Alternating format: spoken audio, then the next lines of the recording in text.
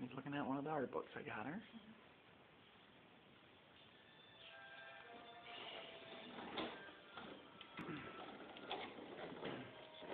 Alex is playing with the two trucks.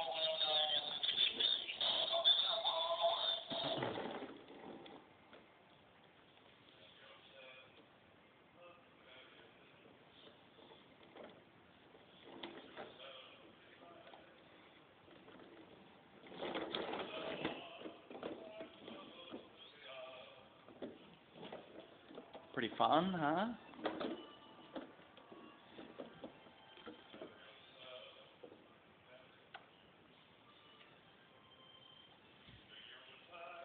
Park that other one.